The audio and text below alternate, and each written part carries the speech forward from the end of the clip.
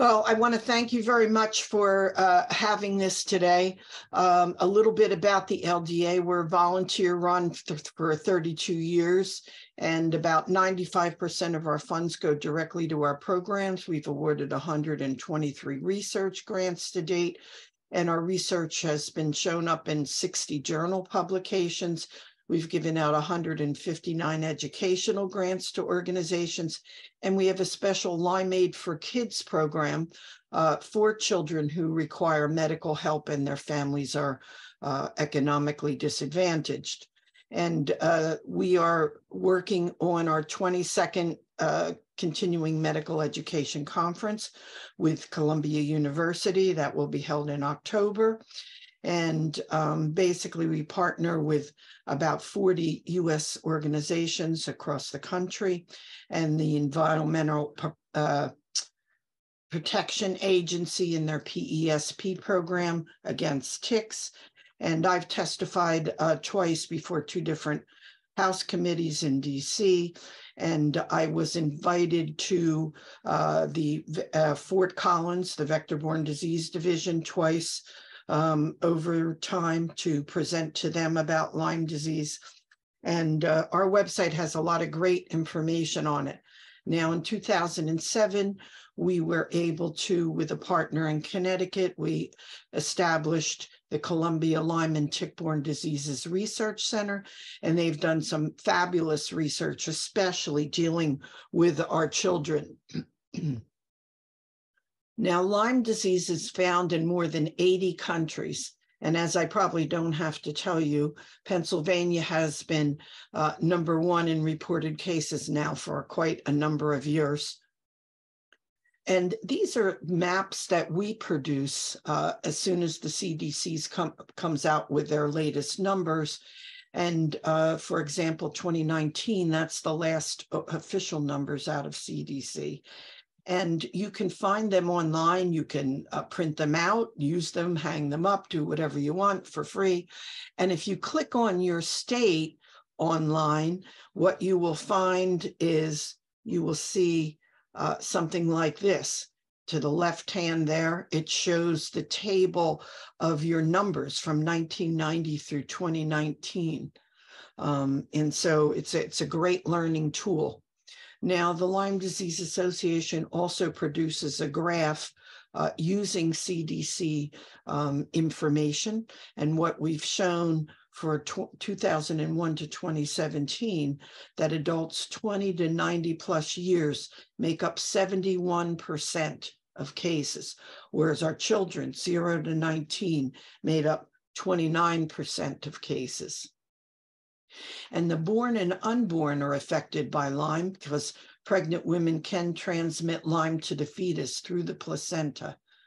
Now, it can cause death of the fetus, um, and that's why CDC definitely recommends that uh, someone who is pregnant gets treated if they do have Lyme. And there's a, still a discussion ongoing as to whether or not it can produce birth defects. Now, this is something that Fair Health, which is a, a national nonprofit, has uh, produced, and it's a great little graphic. And from 2007 to 2021, using private insurance claim lines with a Lyme disease diagnosis, all in the United States, they showed in rural areas, Lyme increased 357% over that time frame, and in urban areas, 65%. Now, what about dogs, cats, and Lyme? So I want to talk about dogs first because particularly they're 50% more likely uh, to, to get Lyme because they tend to roll in the leaves, they run unchecked into, into tick habitats, and they can bring unattached ticks to the home. They can also get ehrlichiosis and anaplasmosis. And in many of the dogs, they get something that causes them to develop serious kidney disease. And I know a number of dogs that have died from that. Now, cats are less likely to get Lyme. Doesn't mean they can't, but they are less likely.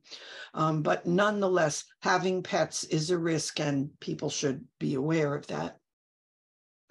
So, what about canine tick-borne disease in Pennsylvania? Well, according to the Companion Animal Parasite Council, in their 2022 numbers, they they get in data on testing of dogs. And in 2022 in Pennsylvania, they tested 593,959 dogs for Lyme disease. One out of 11 dogs was uh, positive. And for anaplasmosis, one out of 15. For ehrlichiosis, one out of 100. And what the CAPC says concerning its data, that this is actually less than 30% of activity in your geographic region. So, what are some of the significant players in Lyme? Well, we have the reservoir hosts, and they're the ones that harbor the disease. In our area in particular, the white-footed mouse, the vole, the chipmunk, the eastern gray squirrel, the shrew, other small mammals, and, and birds, certain birds, especially robin. Um, and so that that mouse has little ticks on the top of its ears. I don't know if you can see it there, but they get covered. Um, and of course, the ticks bite the mice or the other animals, and that's how they pick up the disease. Now, the West Coast and the South, they have a couple of other different kinds of uh, animals that generally um, you know, harbor the disease. Now, what about the deer? Because we call it, in quotes, the deer tick. Well, I always tell the kids when I speak that the deer is a transport and a meal for the tick. So the female often feeds last on the deer and it mates oftentimes on the deer and then it falls off. Um, and of course, the ticks are the vectors of Lyme disease. So, how do they get on us? Well, the hard bodied ticks, which is the ones we're mostly going to talk about today, like the deer and American dog tick, they climb onto small plants and grass and they do something called questing. They brush uh, the uh, grass and the tick latches on. And they're what's called a passive feeder um, because they just kind of hang around and wait for you. Now, the Lone Star tick is a nasty thing, and that will actually run after you. I've talked to guides who work in the field and uh, with tick collecting and things, and, these Lone Stars are just amazingly fast for uh, ticks. Also, if you have any contact with the leaves or ground cover, ticks will climb up on you. They're particularly under leaves. So it's important that kids don't roll in leaf piles anymore. And of course, we have pets that carry them to people. Now, there's a soft bodied tick I'm going to mention and, in a particular type of tick-borne disease later on. Uh, that's the orth- tick. They hide in animal burrows and they're found in old cabins. Usually, a lot of them are out in the West. So a note that ticks can be active all year round now. And peak activity in Pennsylvania is from spring through May and mid August to November, according to your Department of Health, but they can be active all year. So, this is really important how a tick feeds. It secretes something to numb you and it cuts you open. Then it sticks a hollow straw like barbed hypostome into you and it secretes a glue like substance to cement itself to you. And then it sucks your blood. And sometimes while it's doing that, it secretes blood thinners and immune regulators into you, which is pretty uh, amazing. And during feeding, the organisms that the tick have inside it flow into you. So that's why it's so very important to do proper tick removal. So for correct tick removal, do not put anything on the tick, burn the tick, touch the tick with fingers, squeeze the tick body. I don't care what it tells you on the internet to put uh, uh, some liquid soap, do not do. The reason is if you do any of those things, it can annoy the tick, which might then inject whatever fluids it has in you and then it may be actually injecting all these organisms that it has inside you. So do use pointed tweezers, or if you have a special tick removal tool, tool that's good too, close to the skin on the head end of the tick. Pull it straight out. Don't uh, twist or squeeze it because again, it can inject anything it has into you and it greatly increases the risk of infection. Do clean the skin area with antiseptic afterwards. And you can save the tick for testing at testing labs. Um, and preferably save it in a Ziploc with a moist cotton ball, or however the testing labs may tell you to do. You can call the health, your health department, or we do have certain uh, uh, information online on our website about tick testing and identification and uh, call your doctor. And if you want to permanently get rid of the tick, stick it in tape. My favorite tape is duct tape, as my husband would tell you. I duct tape everything, but you could use scotch tape, any kind of tape. Just wrap it up, can't get out. So, what do we know about tick attachment time? And this is really important. The longer a tick is attached, the greater the risk of infection. So why is the attachment time necessary for transmission? Because generally that the Lyme bacteria is in the mid gut of the uh, in of the tick.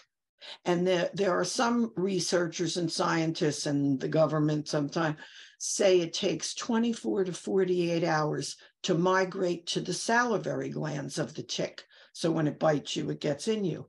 So that's why sometimes it's said 28 to 48. However, this is not always true. And there's quite a number of research articles to show that. Sometimes bacteria are already systemic in the tick and in the salivary glands at the time of attachment. And I quote, the possibility transmission of Lyme disease spirochetes could occur within 24 hours of nymphal attachment under unusual circumstances should not be discounted. Partially fed ticks able to reattach could result from detachment from dead animals or possibly by host grooming. Now, uh, this is a study by Eisen, who uh, I believe is with the CDC but I've uh, generally speaking, I, I cite the articles. So if you want to go back and look and find things, you can find them. So here's a map showing where the black-legged deer tick is. Um, sometimes these these are maps from the CDC, and sometimes they're a little old, and so it might be slightly expanded, but this is the general gist of it. Now, these are deer ticks with poppy seeds. And why do I show that? Because a poppy seed size nymph deer tick produces the most disease.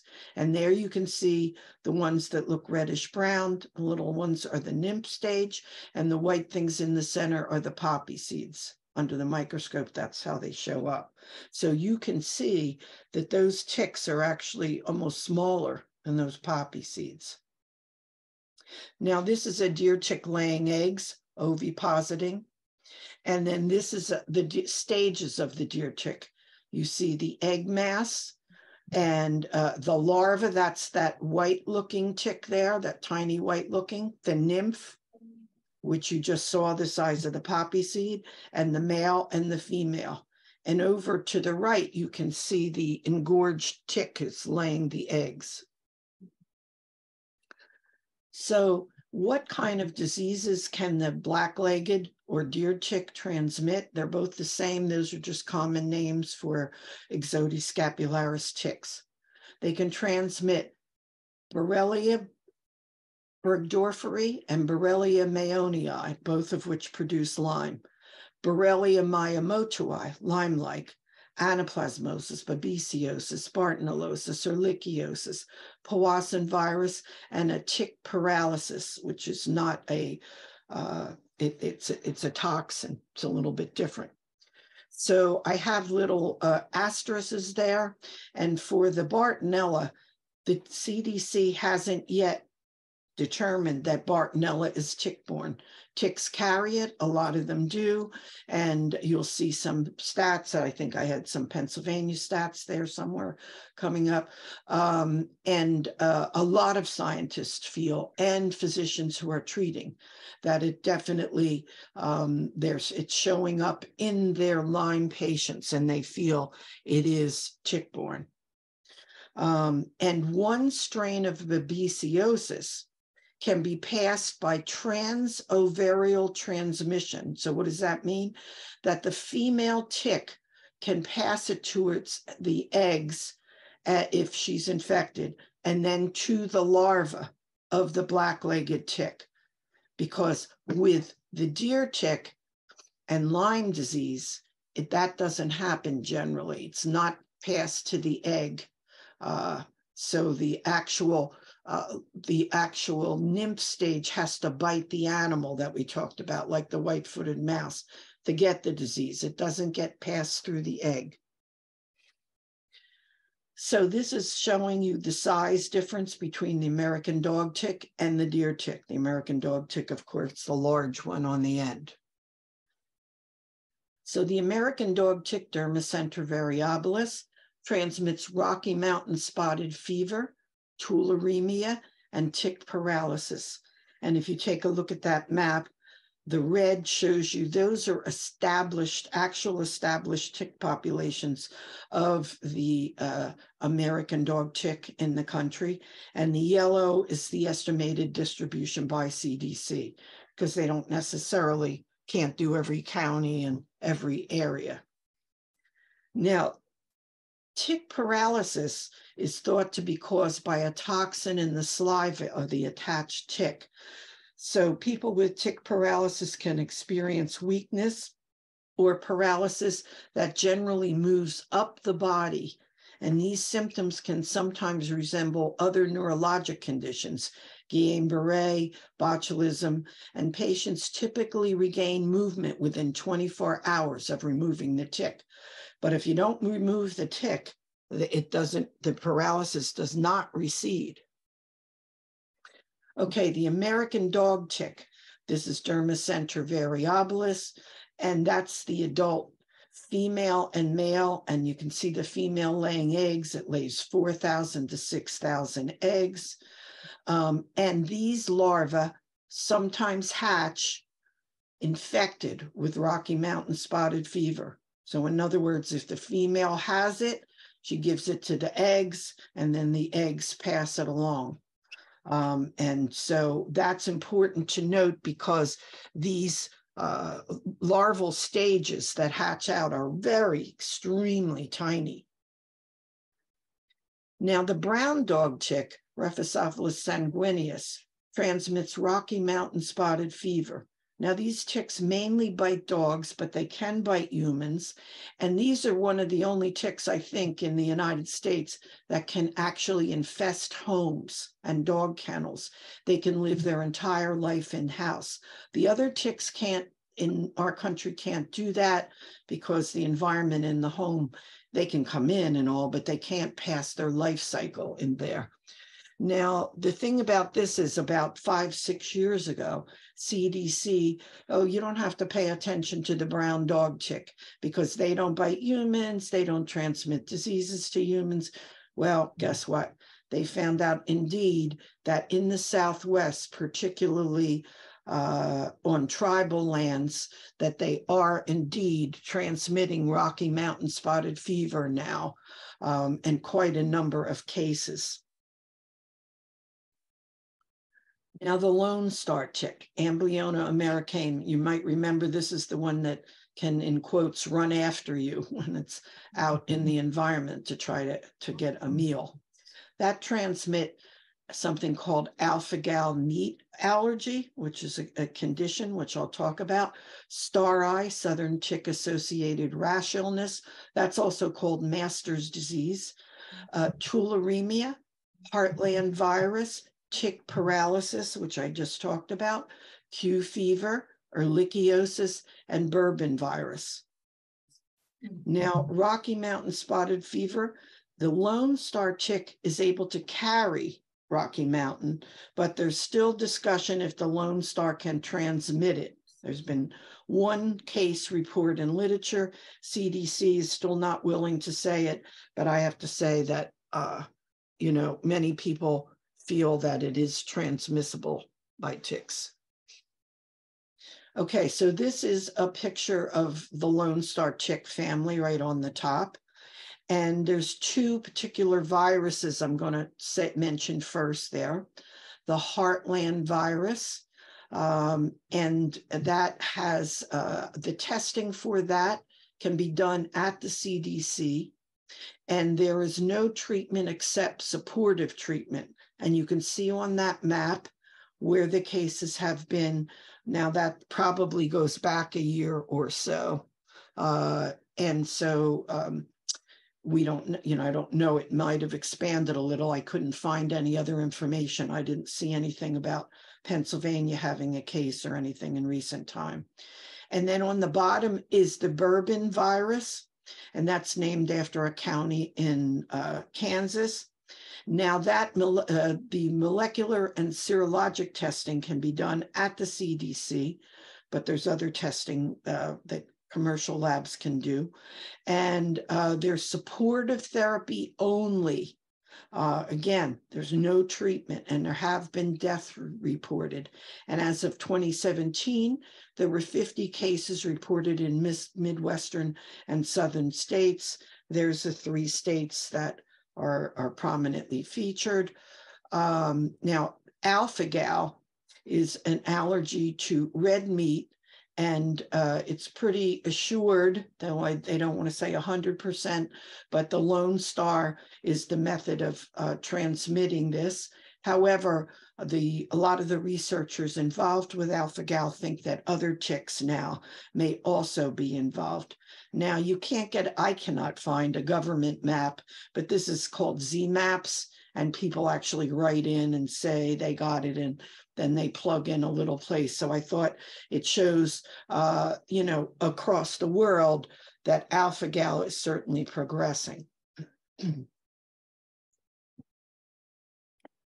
Now, the Gulf Coast tick, Amblyomma maculatum, that transmits something called rickettsia parkeri rickettsiosis. And that's in the same grouping. CDC groups them together uh, as a uh, cluster that, that are caused by rickettsiosis.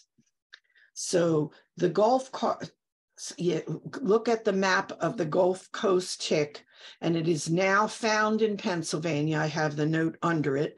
The established populations were found there in 2022, and at least one PA tick was positive for Rickettsia parkeri, and that was said through a uh, advisory by the Pennsylvania Department of Health.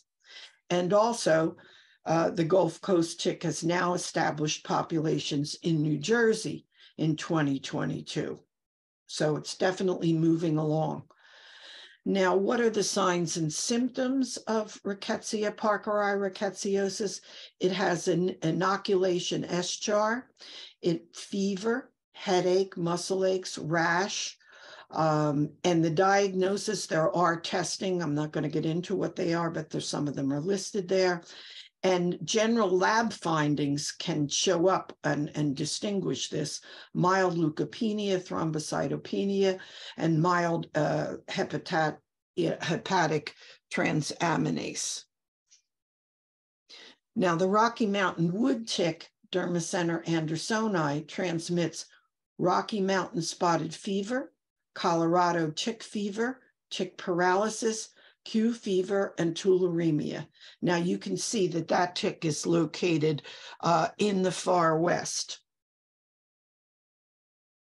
So now here's even further west.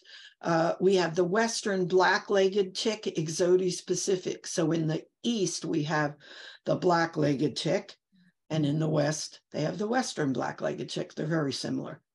So that transmits Lyme disease, Borrelia miyamotoi, anaplasmosis ehrlichiosis, babesiosis, rickettsiosis, and Powassan virus. Then there's the Pacific Coast tick, and you can see on the map where that's located, the dark green spots there.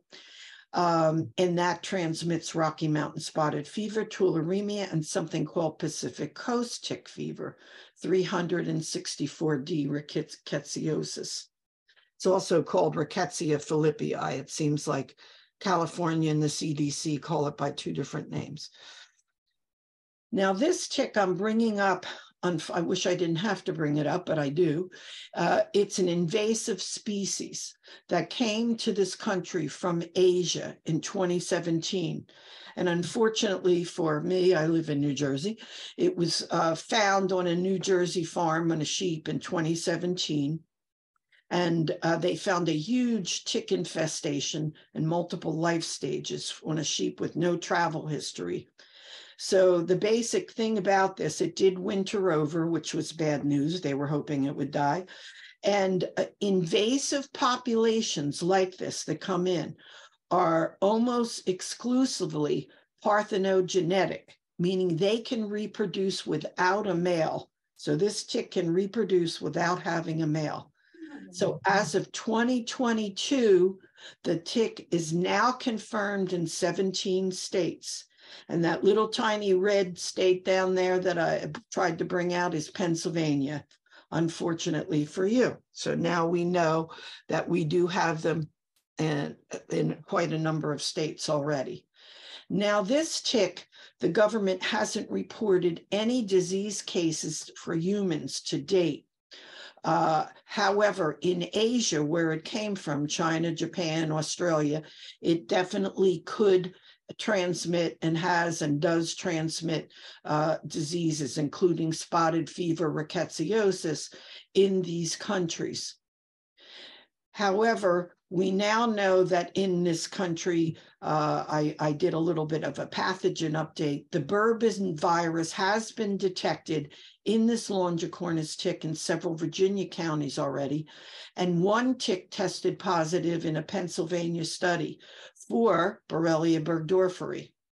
Now, what is it doing? Well, since it's not feeding on humans, well, it's actually feeding on cows and mm-hmm. other kinds of farm animals and it's killing them. They die by exsanguination. They they it just sucks every the blood out of them. And uh, they you, they can find more than a thousand ticks on these cows. I've seen the uh, videos that certain entities have done and it's absolutely amazing. These ticks swarm in these places by the thousands. So According to the Pennsylvania Department of Health, three medically important ticks in Pennsylvania and their associated diseases American dog tick, uh, and that spotted fever rickettsiosis, Lone Star tick, Ehrlichia, STARI tularemia, and the alpha gal allergy, black-legged tick, Lyme disease, babesiosis ehrlichiosis, anaplasmosis, Borrelia miyamotoi. And there was a study, 117 year retrospective analysis of Pennsylvania ticks. They identified 24 species of ticks in Pennsylvania. Now, I'm a native Pennsylvanian and we had ticks when I lived there, but I'm going to tell you, not that many. Pike County, Pennsylvania tick studies. Now, the Lyme Disease Association, we provided a grant to Pike County, and they did a baseline study testing the deer ticks for Borrelia burgdorferi and also for Bartonella. For the burgdorferi, 39% were infected. For Bartonella, 18.5% were infected. Now, we also provided them with another grant in 2021, and they screened for five tick-borne pathogens. And the, there's adult and nymph, but I'm going to just read the adult, the Borrelia burgdorferi causing Lyme. Almost 46% were infected. The Anaplasma phagocytophilum, 12%. Babesia microti, almost 5%. Borrelia miyamotoi, 1.38%. Powassan virus lineage, the deer tick virus, 2%. So the first thing I'm going to talk to you about symptom-wise, Lyme disease that you know, and I'll explain that a little bit later. So early on, first we know it's transmitted by the black-legged or deer tick and the western black-legged ticks out west, caused by Borrelia burgdorferi in this case, uh, symptoms, early flu-like illness, muscle aches, pains, joint pain, and or swelling, fatigue, malaise, fever, headache. Now, possible rash. And this is really important because everyone thinks you have to have a rash. Not true. And the bullseye only presents about 9% of the time. That's the actual bullseye. But that bullseye is a subset of the EM rash, which is uh, the CDC says in 60% of patients, 60 to 80%. However, uh, a lot of researchers and most of the Lyme organizations and others uh, have found that through research that it, we feel it's less than 50%, but we're giving you what the CDC says. And a lot of that is because they use the rash in a lot of their case determinations. So they probably see it a lot more. So um, anyway, later symptoms that can attack all systems in the body. And of course, there's varying testing methods for it. And the treatment generally, at least in the beginning, is doxycycline. Now, this is some of the different Lyme rashes, so you get an idea what some of them could look like. Remember, not everybody gets one of any kind. They can look different than the classic bullseye, and they can be on other places on your body than the bite site because that's disseminated disease. Now, this is a, a, Columbia University rash poster. We funded this project, and you can find it and print it from our website if you want it uh, to make it larger, whatever. But that shows you some of the different ones. That top left-hand corner, that is a that's the classic bullseye because it's see that central clearing. That's what the classic bullseye has. The rest of them are EMs, but they may not be. Uh, you know, they may not be um, classic bullseye. That seems to be a bullseye. That's probably considered a bullseye. So signs and symptoms of Lyme. And again, I, I, will note this cardiac poster that's right there. Uh, that can be downloaded for free from our website and printed. And so musculoskeletal symptoms, joint pain or swelling, stiffness, muscle pain, migrating muscle pain, cramps, shin splints, neck or back stiffness, joint pain and or swelling, or cramps that may migrate, TMJ, neck creaks and cracks, tender soles of your feet. Reproductive, testicular pain, pelvic pain, menstrual irregularity, unexplained milk production, sexual dysfunction, or loss of libido. The cardiac pulmonary, chest pain or rib soreness, shortness of breath, heart palpitations, pulse skips, heart block, heart murmur, valve prolapse, and I want to mention there have been cardiac deaths. Lyme signs and symptoms number three, neurological, muscle twitching, headache, tingling, numbness, burning or stabbing sensations, facial paralysis, dizziness, poor balance, increased motion sickness, lightheadedness, wooziness, difficulty walking, tremor, confusion, difficulty thinking, concentrating, reading, forgetfulness, poor short term memory, disorientation, getting lost, going to the wrong place. Um, and I just want to give a quick example of this. I've known professional people parked their car, gone into work, came out, um, uh, didn't know what car they'd driven and couldn't find it in parking lot, and couldn't get home when they did find it difficulty with speech, double or blurry vision, eye pain, blindness, increased floaters, increased sensitivity to light or sound or smell, buzzing or ringing in ears, ear pain, decreased hearing or deafness, seizure activity, white matter lesions, low blood pressure. And I do want to mention my own daughter. Uh, she was out of school for four full years, two partial years. For three years straight, she was in temporal lobe seizures uh, six out of every seven days a week for three years straight. It was it was a complete nightmare. Lyme signs and symptoms number four, neuropsychiatric, mood swings, irritability, depression, disturbed sleep, personality changes, OCD, violent outbursts, anorexia, paranoia, uh, paranoia, panic anxiety attacks, hallucinations, gastrointestinal problems, nausea or vomiting, loss of appetite, GERD, change in bowel function, gastritis, abnormal cramping, cystitis, irritable bowel, bladder or bowel dysfunction, newly diagnosed irritable bowel. Other fever, sweats, chills, weight change, fatigue, tiredness, hair loss, swollen glands, sore throat, difficulty swallowing, swelling around eyes, and swelling of feet. Now, this is Lyme disease you may not know, Borrelia from caused by Borrelia mayonii. And it's found right now mostly in the upper Midwest, transmitted by the black-legged tick. Uh, and symptoms, early symptoms, fever, headache, rash, neck pain, later stages arthritis, and some of the differences from Borrelia burgdorferi Lyme may include nausea and vomiting, more diffuse rashes, and a higher concentration of bacteria in the blood. You may know that when you get Lyme with Borrelia burgdorferi, there's very low, uh, it's very low, often not even found in the blood because it's so low concentration, where it's 180 fold higher in uh, Borrelia mayonii, but it this seems to be so far that it's not is quite an intense disease. Uh, it is found in animal populations in the Midwest um, and in other places. And there is uh, testing currently, unfortunately, is not specific, um, but a lot of docs use the current Lyme testing since it resembles the Lyme from Borrelia burgdorferi.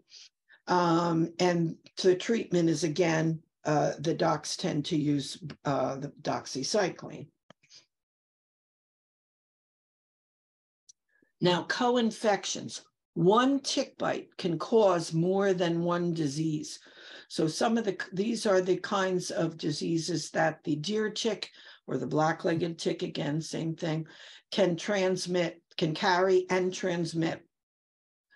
Borrelia burgdorferi or mayonii, producing Lyme, Babesia anaplasma Ehrlichia bartonella, Borrelia miyamotoi, Powassan virus, tick paralysis toxin.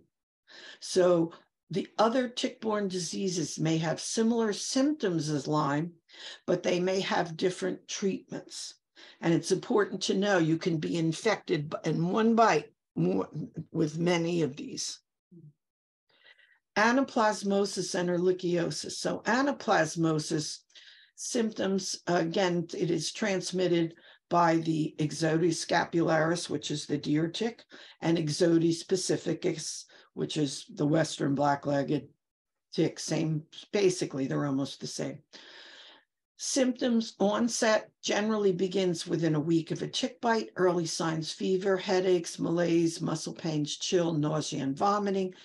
If treatment is delayed or other medical conditions are present, it can cause a very severe illness, and age is a huge risk factor. Older you are, the bigger the risk. So, signs of symptoms of severe late stage respiratory, bleeding, organ failure, and death. There are tests for it, and uh, treatment is doxycycline. In rare cases, it can be spread by blood transfusions. And the little note in red says in 2013, anaplasmosis was in double digits in Pennsylvania for the first time reported. In 2021, there are already are 600 plus cases of Lyme disease, and that was uh, they were diagnosed by Hershey in, in a study in 2021. So it's on the rise, folks. Ehrlichiosis caused by Ehrlichia chaffeensis bacteria. That's transmitted by the Lone Star, caused by Ehrlichia ewingii, transmitted by the Lone Star, caused by Ehrlichia muris eauclairensis. That's transmitted by the deer, the black-legged or a deer tick. And there are tests for those symptoms and treatment, fever, chills, headache, muscle aches, sometimes upset stomach, doxycycline for all ages, and Ehrlichia can be spread through blood transfusion and organ transplant in rare cases. Now, babesiosis, this is one of the most common co-infections with Lyme, and it's a parasite, and it can be transmitted through the blood supply. So the FDA finally approved tests uh, in, in 2018 and 19 to screen the blood supply for a number of different uh, strains of, of the Babesia. And in rare cases, there can be can, congenital transmission, and there are uh, a test to diagnose, and it can be particularly fatal to the elderly or those with no spleen. And those having a Lyme co-infection can have more serious symptoms. And there were over 14,000 reported cases from 2011 to 2019. And those cases are going up. You can see a map there from CMS uh, from 2006 to 2013. Of course, there's a lot more spread now uh, of that disease. Now, Borrelia miyamotoi disease, that's caused by another spirochete-shaped bacteria closely related to the relapsing fever group of Borrelia, and it's more distantly related to Borrelia that causes Lyme disease, transmitted again, black-legged tick, western black-legged tick. Now, these symptoms, as its name might imply, the relapsing fever group, may be recurring, the fever headaches, chills, body and joint pain, fatigue, arthralgia, myalgia, uncommon uh, symptoms, dizziness, confusion, vertigo, dyspnea, nausea, abdominal pain, diarrhea, anorexia. So usually the fevers last approximately three days, and then they're separated by a, a febrile period of seven days duration. There are different testings available, and treatment is doxycycline. And then, of course, there's a number of other antibiotics there. Now, according to a PA Health Department advisory in 2022, Borrelia miyamotoi disease has been detected in multiple Pennsylvania residents. Healthcare providers should consider it in patients presenting with compatible symptoms. Now, this is Powassan virus only they only address the neuroinvasive cases here. There are cases that are not neuroinvasive. They were these were reported by the state of residence, and you can see that uh, this is from 2012 to 2021, and you see that Pennsylvania during that time had nine cases. Uh, it is on the, the rise. Um, it's caused by the bite of ticks primarily found in the eastern half, particularly the black-legged ticks. There's a couple of others that generally don't bite humans, but they could, and rarely through blood transfusions. Now, the, the important couple important, very important things about this one. The transmission time of this virus can be as soon as 15 minutes after tick attachment. Now, the initial symptoms headache, fever, nausea, vomiting, generalized weakness. It can, can progress to encephalitis, meningoencephalitis, aseptic meningitis, yeah, meningitis, yeah, meningitis. Sorry about that. Symptoms of encephalitis may include altered mental status, seizure, speech problems, uh, per, paresis or paralysis, movement disorders, and cranial nerve palsies. Now, encephalitis and meningitis, in those cases, if it does infect those, death occurs in about 10%. And this is very important 50% of the survivors have long lasting neurologic deficits. So, there's a very serious disease, folks. Now, the treatment, unfortunately, there's only supportive treatment available, and those with severe disease are often hospitalized. Now, there are some tests out there, and the ones I've highlighted are some specialized one that the CDC has available, uh, and some of the state labs might have available, and a few reference labs. Now, the CDC website in 2023 says preliminary diagnosis is based on the patient's clinical signs and symptoms, location where infection likely occurred, uh, activities leading to risk of possible exposure to the virus, primarily through Ixodes species ticks or rarely through blood transfusions. Now, Bartonellosis, transmission, fleas, lice, sandflies, cat scratches and bites, cat saliva, or broken skin or mucosal surfaces. now it can be carried by Ixodes scapularis, the black-legged or deer tick, and uh, it is certainly found in Pennsylvania and in New Jersey. Now the CDC knows it can be carried by ticks, but they don't want to yet say that it's transmitted by ticks, although again, many doctors and researchers feel it is. CDC's position is in red. Ticks may carry some species of Bartonella bacteria. There is currently no causal evidence that ticks can transmit Bartonella infection to people through tick bites. Many of the treating physicians find that uh, many of their patients have Bartonella simultaneously to uh, Lyme, and they're not necessarily cat owners. When symptoms are present in combination with Lyme, atypical present presentations may result, including visual problems, headaches, significant lymph node enlargement, resistant neurological deficits, new onset seizure disorders.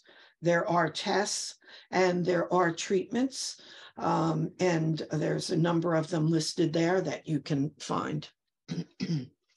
Now, southern tick associated rash illness, STARI, that's transmitted by the bite of the lone star tick, Amblyomma americanum, and it's also known as master's disease. Now, the infectious cause is unknown. They used to say it was caused by Borrelia lonestari, uh, and which is similar to uh, the other Borrelias, but then they decided it wasn't. So it looks and acts like Lyme. It has it can have an EM-like rash, a red expanding bullseye lesion at the bite site, which could appear within seven to 10 days. Uh, you may get fatigue, headache, fever, muscle and joint pains. There's not a specific test for it. Um, it's diagnosed by symptoms, geography, tick bite. CDC says in the cases of STARI studied to date, the rash and accompanying symptoms have resol- resolved following treatment with an oral antibiotic, doxycycline, but it's unknown whether this medication speeds recovery. So basically, what they're doing is covering themselves. They're saying, we don't really know this, but that's basically what doctors are giving. Now, Q fever. Q fever is caused by Coxiella burnetii bacteria, but it's transmitted most often by inhaling CB containing dust or eating or drinking contaminating food, contaminated foods. Cattle, sheep, and goats are the main reservoirs. Other forms of transmission are rare, but include tick bites and human to human transmission. Now, in red, I put the CDC does not indicate it's a tick-borne disease on its tick-borne disease website.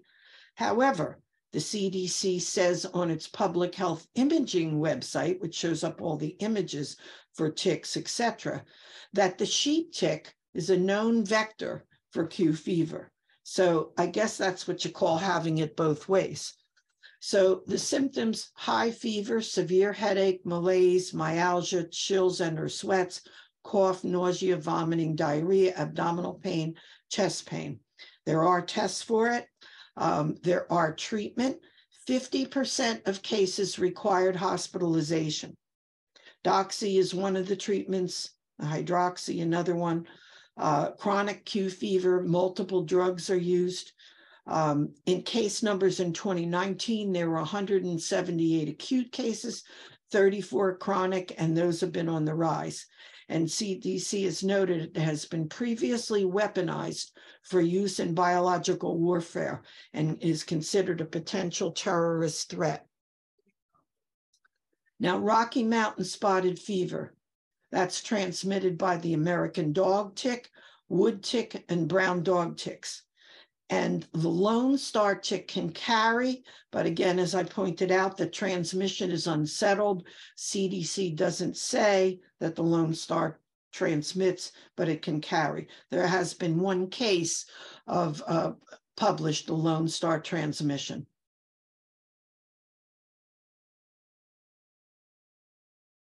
Symptoms include fever, headache, myalgia, characteristic rash on wrists, ankles, and soles, and you can see some of that rash on, uh, on the pictures if you uh, want to look at them later when you go online this will be put online so you'll be able to see everything. Treatment is doxy. Uh, cdc says in clinical reviews there's a 5 to 10% mortality rate. Now there has a lot of published literature with higher rates and Dantas Torres in Lancet in 2007 used a 20% figure now, in the HHS tick-borne disease working group, the Congress, uh, and I was on that working group for uh, two terms, that was four years. Um, we one of the recommendations we made to Congress was to improve provider recognition and empiric treatment of Rocky Mountains and also other spotted fevers at early stages of illness. That's because of the fatality rate with using doxy, doxy, including in children younger than eight. And CDC definitely says now, because of before, you probably know that they did not recommend that. They do recommend that now for that. Now, tularemia, this is a map showing 2011 to 2019 cases. Again, there were 13 in Pennsylvania. Now, this is transmitted by the bite of the tick or the deer fly. And uh, the ticks include the American dog tick, the Rocky Mountain wood tick, the Lone Star tick. It's not transmitted, or at least not that they know about right now, by the black-legged tick. So there are two types that are tick-borne out of six total types. Um, and symptoms of the tick-borne tularemia, a skin ulcer where the bacteria entered the body, there may, it may or may not be present. The ulcer will be accompanied by regional lymph glands, usually armpit or groin. And there are tests that that may they may vary by the type of exposure to the tularemia. There are treatments. There's a number of different ones down there. And uh, CDC notes people could be exposed as a result of bioterrorism tick-borne relapsing fever 1990 to 2011 now this is mostly you can see in uh, the western united states. And these this is transmitted by the Ornithodoros ticks the soft-bodied. I mentioned all the other talks, ticks we talked about hard body. The soft bodied tick is a, a, nasty little creature that hides in animal burrows. It's found in old cabins in the West, caves in Texas, usually at high altitudes. They feed at night, have a very short feeding period. They usually feed on people and animals when they're asleep, and they can live up to 10 years or more. And the female passes the Borrelia to its eggs, which then goes into the next tick. So the Pacific Coast tick fever, that's transmitted by the Pacific Coast tick and caused by Rickettsia species 364D. And the treatment is doxy, as is with most of the spotted fever infections. And spotted fevers in general can range from mild to life threatening. And of course, I mentioned the Rocky Mountain, which does have a pretty high fatality rate. And symptoms most spotted fever patients, other than Rocky Mountain, will have an eschar, fever, headache, and a rash. Now, heartland virus that's transmitted by the bite of an infected tit, thought to be the Lone Star. And that's mostly right at the moment, at least in uh, these particular states that are mostly in the South. Symptoms fever, fatigue, loss of appetite, headache, nausea, diarrhea, muscle or joint pain. Many people are hospitalized. There are testing to be performed at CDC only, and the healthcare providers are told to contact their state health department. Treatment, supportive care only, and some deaths have resulted. Now, the heart, the bourbon virus, again named after a county in, in Kansas, transmitted by the bite of an infected tick, thought to be the Lone Star, symptoms fever, tiredness, rash, headache, other body aches, nausea, vomiting, uh, low blood cell counts for cells that fight infection and help prevent bleeding. Testing and treatment. Yes, there are, are, molecular and serologic blood tests available and some at CDC. There's only symptomatic treatment. So, what is the controversy? You may have heard about the controversy for Lyme disease. It's simplified right here that do patients continue to have symptoms? Do they have an active infection? Is it autoimmune? Combination of both. Some identifiers I have seen used are chronic Lyme, persistent Lyme, post Lyme syndrome, post Lyme disease syndrome, post treatment Lyme, post treatment Lyme disease, post treatment Lyme syndrome, post treatment Lyme disease syndrome, ad infinitum. If you've forgotten your Latin, it's to infinity. Mm-hmm. IDSA versus the treatment ILADS treatment guidelines. So the IDSA is the Infectious Diseases Society of America. They have guidelines out, and the International Lyme and Associated Diseases Society has treatment guidelines. They're competing guidelines. They're both medical societies. Basically, this is a chart that we put into the 2020 re- working group uh, to con- and report to Congress, and it compares the two guidelines. But the basic bottom line is that the IDSA does not believe that there is a such thing as chronic Lyme, and their treatments tend to uh, not uh, give the clinician as much leeway and they don't provide for longer term treatment. The ILADS guidelines, uh, those docs are a lot of the docs that treat Lyme across the country and recognize and feel that there is something going on uh, with long term symptoms um, and that people often may need treatment, longer term treatment. And so they can they make a clinical diagnosis. So you can look at that chart later if you're interested to see the other kinds of uh, com, you know comparisons. Now, MyLymeData patient registry, this we put into our HHS working group report to Congress in 2020. There were over 12,000 patients enrolled. So, how long until the patients were diagnosed? This is amazing, folks. 16% under four months, 12% 5 to 11 months, 17% 1 to 2 years, 20% 2 to 6 years, 36% 6 years. So, in summary, 84% were not diagnosed within the first four months. 72% saw four or more docs before diagnosis. Of course, unfortunately, this all leads to chronic illness, call it what you will, out of some of those descriptors that I mentioned.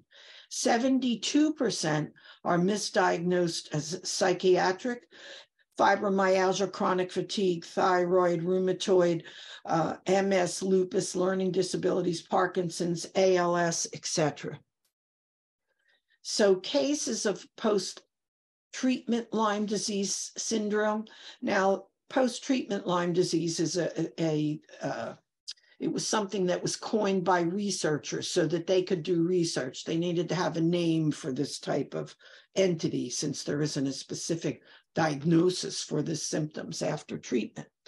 So studies have shown that Lyme treatment failure rates from, at, from regular IDSA type prescribed treatment short term 10 to 20%.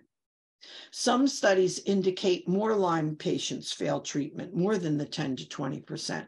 A Hopkins study showed up to 35% of patients experience chronic, often debilitating symptoms after treatment.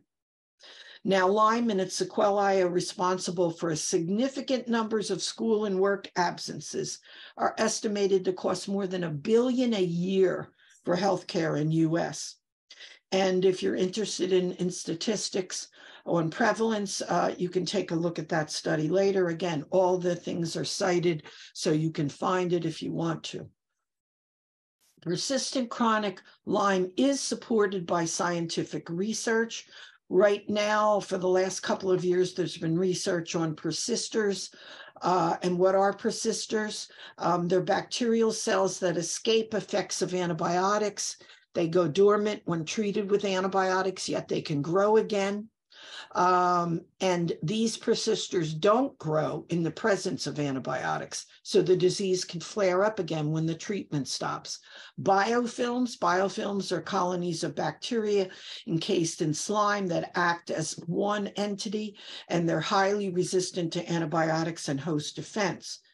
Now, there are animal studies, and Dr. Stephen Barthold, one of the premier researchers, he's now retired, in the field of Lyme, a veterinarian, testified before the House Foreign Affairs Health Subcommittee in 2012.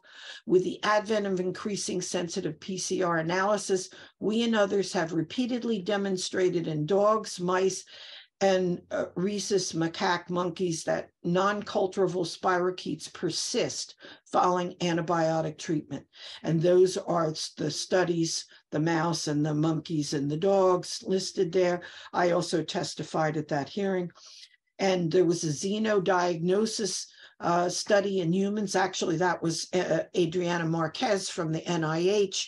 And people actually allowed themselves to be bitten by these ticks which uh, were had been given uh, Borrelia burgdorferi, and the xeno diagnosis was positive in, in two instances. So what the problem, part of the problem is that missing the CDC, misusing CDC surveillance case definition, uh, it's not meant to be used for diagnosis. It should not be used to establish clinical diagnosis, standard of care, guidelines for quality, providing standards of reimbursement uh, what's been happening in practice is actually that has been used by doctors, by insurers, by medical boards to go after doctors who are treating. Now there's a, a new uh, 2022 Lyme surveillance guidelines. They were originally using 2017. And in the new ones, the case definition says it's intended solely for public health surveillance purposes, does not recommend diagnostic criteria for clinical partners to utilize in diagnosing patients with potential Lyme disease. There's also more uh, choices of testing in there. Differential diagnosis, Lyme can mimic others things, MS, ALS, CFS, FM, rheumatoid, Alzheimer's, Parkinson's, lupus, autism, ADD, ADHD, psychiatric conditions. Doctors need to see if Lyme is causing these clusters and treat it if it's that causing it. Lyme in the kids, uh, there's Columbia University studies showing children uh, with Lyme had significantly more cognitive and psychiatric disturbances, but when they they uh, controlled for anxiety, depression, and fatigue, the, the cognitive deficits were still there and uh, they were accompanied by long-term no- neuropsychiatric disturbances resulting in psychosocial and academic impairment and parents indicated 41% of children had suicidal thoughts and 11% made suicidal gesture and an important study by uh, Dr. Fallon at Columbia underdiagnosis showed that there was a study a documented IQ improvement of 22 points in a 16 year old after IV treatment for Lyme disease. So, why do children uh, in schools have problems? Because Lyme can affect all the symptoms of the body. The symptoms are varied. They often exhibit problems associated with Lyme, especially behavioral and mood changes that don't go recognized by districts. Children may be improperly classified, labeled neurologically impaired, emotionally disturbed, when perhaps a classification include other health impaired might be more appropriate. Um, the children may be identified with ADD, medicated for those symptoms, no causes ever sought. So why do schools question Lyme? Fluctuation in and variety of symptoms. They can vary from day to day, hour to hour. Sleep disturbances may cause a child to oversleep in the morning because of difficulty falling asleep at night. Executive functioning may be impaired. They may have difficulty organizing day or life.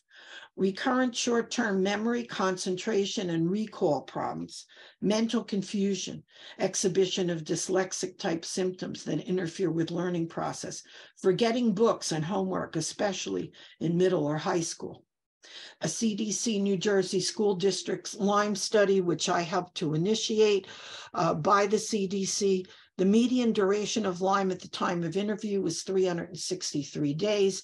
Median number of days the illness was said to significantly affect normal activities, 293 days. Mean number of total school days lost, 140. Mean duration of home instruction, 153. Only 26% of children in the study were said to have fully recovered. Direct medical costs totaled $5.2 million. That was adjusted to 8.7 for 2013 dollars.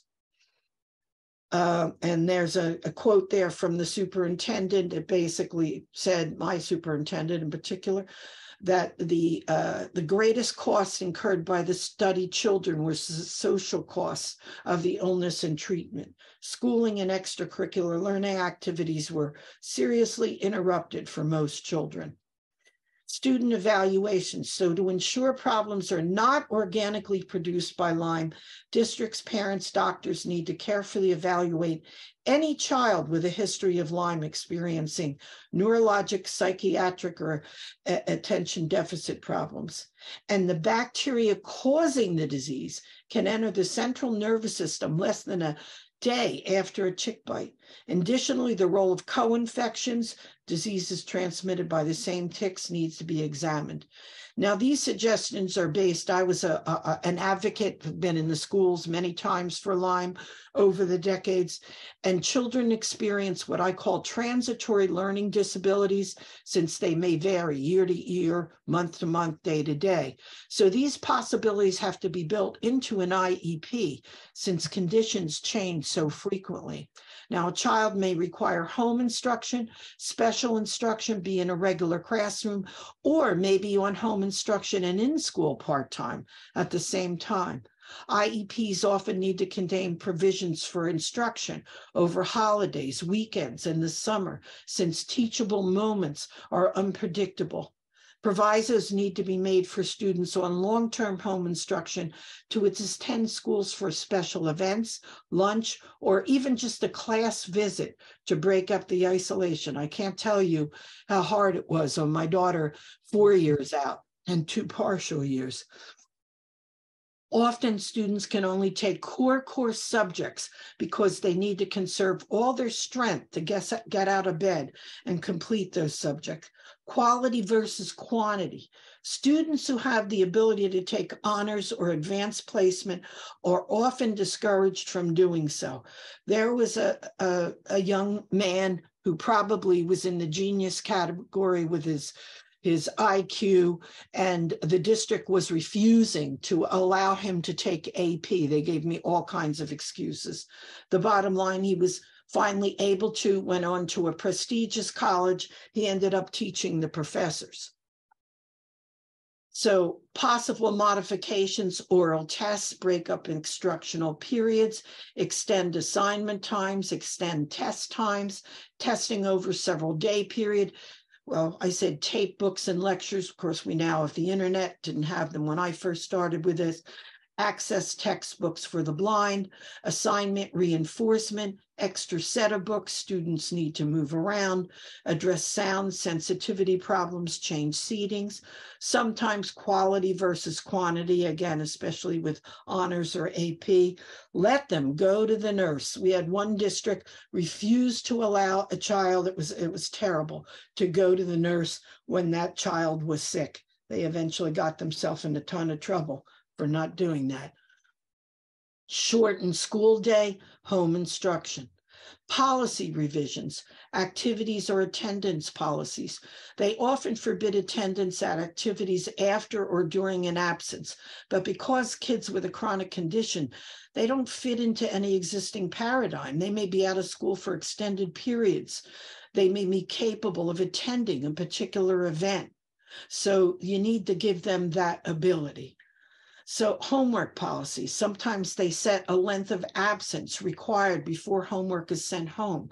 Because of unpredictability of symptoms and frequent and sometimes short absences, students with Lyme disease homework needs to be supplied without any waiting period.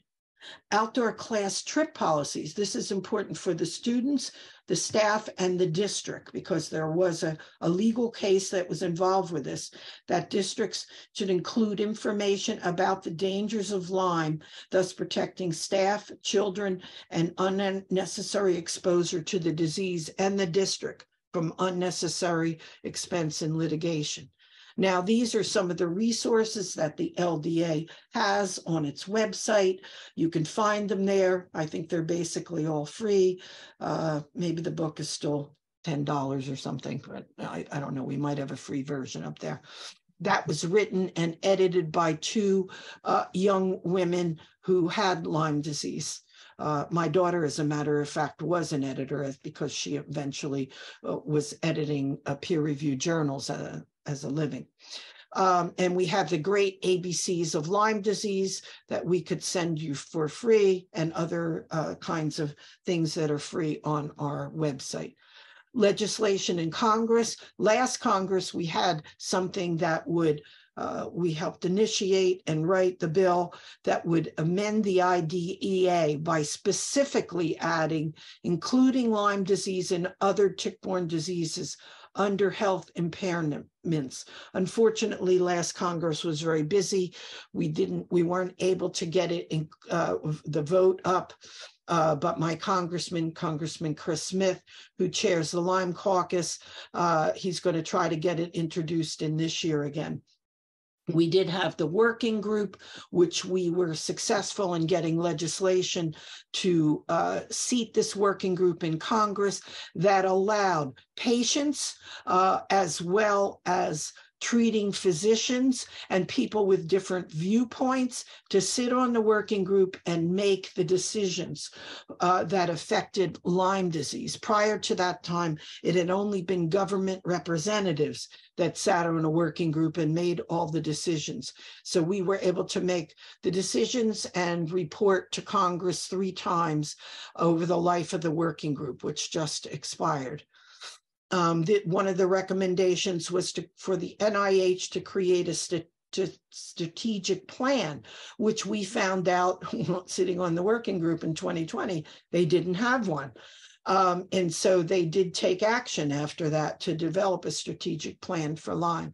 There's also something called LymeX, where Health and Human Services and the Cohen Foundation, which is one of the largest providers of private monies for Lyme research, uh, have a, a, a partnership together. Now, PA Lyme legislation, you probably know about SB 232, uh, which will is all about tick removal in the schools uh, and the requirements about school nurse, physician, or designated employee shall remove a tick from school student in accordance with the Secretary of Health guidelines that will be uh, in this um, legislation and it requires parental notification, requires the school to preserve the tick, and then either the school or the parent can send it in. Now, it did pass the Senate 49 to 1 on April 26, and now it will move further in along the uh, process to see if it gets uh, finally uh, totally approved as law. So in the bottom line, can we escape ticks? Well, the, if you can see the red print in there, uh, and the if you can see the globe, that's the bottom of the globe.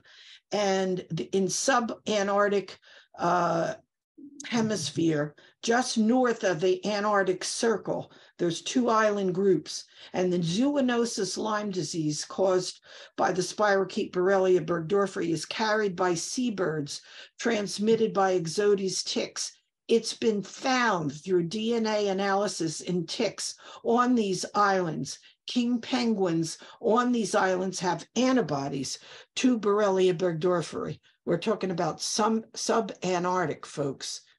This is an engorged nymphal amblyomma tick, which was found in the Dominican Republic 15 to 45 million years ago.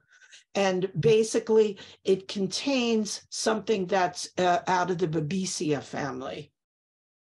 This is an Australian tick, in case you think we're the only ones barraged with these suckers. From 2019, this tick had 500 ticks plus on it in somebody's pool in Australia. They brought in the Brisbane snake catcher who counted the ticks and rescued the snake. One of my favorite posters from Insectropolis. I don't know if you've ever been there in New Jersey. It's a great place for not only adults, but especially for kids. This is Wanted Dead or Alive, AKA the deer tick, $1,000 reward. And I know most of us would pay more than that.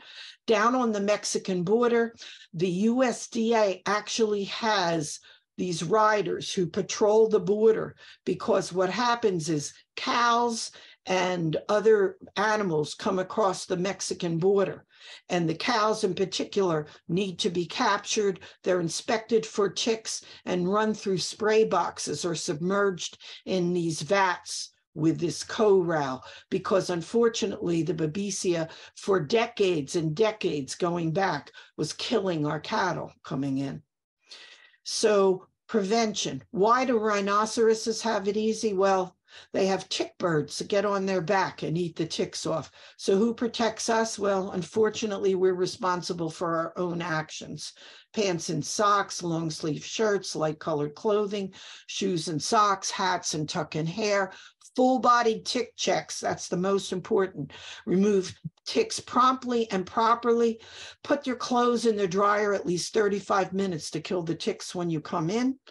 Uh, there are special rhino skin tick prevention clothings that are chemical free, insect shield repellent apparel that where it's uh, this is dipped already before you buy the clothing. Um, there are sprays for your skin and your clothes, and you should never substitute one for the other. There is a current Lyme vaccine trial with Valneva and and Pfizer. Uh, Pfizer shut down part of this trial recently. Uh, the Lyme community and many researchers have problems with this, this Lyme vaccine. It has the same base as the Lyme vaccine that was pulled from the market, the Lyme vaccine in the early 2000s, the LYMErix vaccine. And so that is a concern. It has the OspA based. So the, there's a Moderna mRNA vaccine. You might remember the mRNA vaccines from them for COVID. Well, just like a week or two ago, they announced their first uh, Moderna vaccines for Lyme disease. They have two candidates, one that would be effective against Borrelia in the US and the other for Borrelia in Europe. Of course, it's not out on the market, it's under development. Getting rid of ticks. This is my absolute favorite ticks. This is a fungus for tick control. You can use it out in your garden. It is on the market. And with it just less than a week ago, oral vaccine from US Biologic got a conditional USDA license. This is for mice and it's pellets. You put it out in your backyard. The mice can consume it and then it stops the bacteria inside the mice. And so then the ticks biting them are not going to get viable bacteria. There's other kinds of research going on with different kinds of acaricides, meaning that ticks are killed. Uh, there's one that a new one that they're looking at essential oil from balsam fern needles and, and other essential oils. There's other kinds. And in the bottom line, you got to love those opossums because they can kill about 5,000 ticks a season. More than 90% mm-hmm. of the ticks picked up by it are swallowed and killed. And I thank you very much for your attention, and I thank everybody involved, uh, and uh, especially you, you guys for coming and hearing this, and the school district uh, for having this.